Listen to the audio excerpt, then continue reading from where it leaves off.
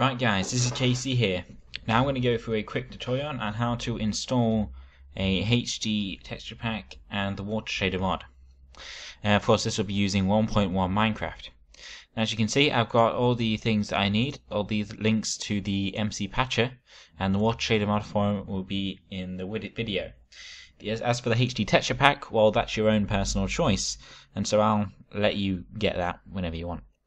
Okay, so First, you're to need to find the Minecraft folder. Now to do this, uh, you can actually just click here in the start and type in percent app data percent enter. And it comes with all this folder and it shows the .minecraft folder. So you have that up. You, it's that simple. I've got a little shortcut of it for it here.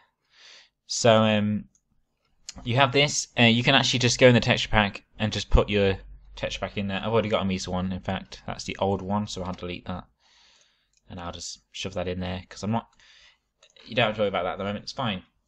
So bin, I'm just going to make sure I've got the latest... Well, the 1.1 version of Minecraft. So I'm just going to load Minecraft up. There we go. I'm just going to go on options, force update, and it'll get me a fresh copy of Minecraft just to make sure. I'm not sure if I still have the pre-released on. So, while that's doing that, uh, I can go through this. So this is the water shader zip file. So if I open this, uh, I'm opening using 7-zip. However, you can use 7-zip or WinRAR. Both are free programs. Just download them. It's basically just a way to open zip files. So you got this. I've got it. You've got a Minecraft folder and a shader folder. Now, the shader folder just goes in this bin folder here, where the Minecraft jar is. You don't put it in the Minecraft.jar, you put in the folder that the Minecraft.jar is in. So I can just shove that in there because you can even just leave that in there because it won't use it at the moment anyway until it's been the jar's been modified. So we just see if it's done. Yep, it's done 1.1. It's all ready. So what you want to do first, however, is before you do anything else, uh, uh, Water Shader or any of the mods, go into the MC Patcher, run, uh, so it's going to hopefully find automatically the Minecraft 1.1.jar. And you come up, you can select what you want. I'm just going to do uh, HD textures and HD font. Uh, Bettergrass has never really worked for me. Um, I don't really want random mobs or custom colors.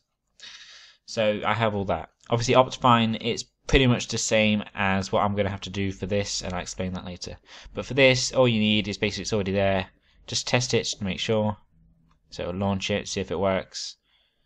Okay, it's all fine. So patch it, and that'll patch Minecraft with that. So now that's done, it can now run the HD texture pack. So if I run Minecraft now before going any further, it's just to show you that it can actually uh, run the HD texture pack. Okay, so on the Misa, might be a bit a bit slow there, and then it should come up. Uh, there we go. So we got that done. So let's just create a new world. Let's go creative. Brand new world in the Misa pack. It should all be fine. And the yeah, result is here. There we go. See, everything's fine. The texture pack is on. It's all good. You've, it's that's it. So yeah, that's that sorted. Texture pack works. Now, of course, if you go down to the water, it is not. Uh, hasn't got the thing on yet. I think the water's changed from the last texture pack as well, which is interesting. So the clouds, I believe they're like the uh, photorealistic ones now. Uh, so yeah, we've got that sorted. Let's just exit Minecraft. You don't have to worry about that at the moment. So let's just go to the shaders that you've got up here, and let's finish off by right-clicking on the Minecraft.jar not the uh, the other one here.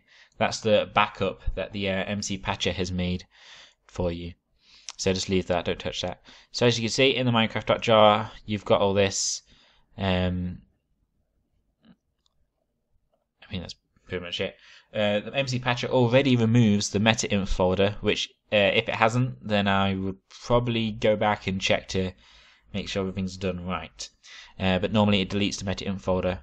Um, so yeah, so let's go to the water shader folder. Let's go click on Minecraft one, and basically anything with class files in, you normally just have to drag the class files over into the Minecraft.jar. That's what most mods are. If you ever go into a folder, it's just filled with class files, maybe a couple of folders. Literally just drag all that into the Minecraft.jar, unless it says otherwise. So that that's that sorted. So I'm close all that now. I'm just going to load Minecraft back up again. I'm not sure how well this is going to record it because I'm using Cam Studio for desktop recording. Otherwise, I would be using Fraps, but Fraps is a bit picky with uh, my desktop recording. I click it, but it doesn't seem to work. So it's loading up Minecraft. It's in the Misa pack, so that's fine. Let's load up our world that we made, and everything should be fine and dandy. Yep, there we go. As you can see, Water Shader mod is implemented along with the HD texture pack. And so it's sorted, and you can see yourself in the reflection. So there you go. Installation sorted in some nice looking water. Right. Hope you enjoyed it, and see you later. Bye bye.